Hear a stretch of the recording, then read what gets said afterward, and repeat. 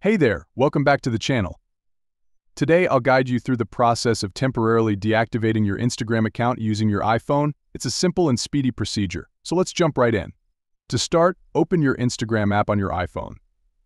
Once it's open, locate and tap on your profile icon, typically found in the bottom right corner of the screen. Next, you'll want to tap on the three horizontal lines in the top right corner to access the menu.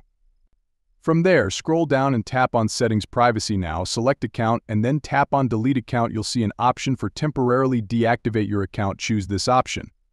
You'll be prompted to enter your Instagram password for verification. After entering your password, you'll need to select a reason for deactivating your account.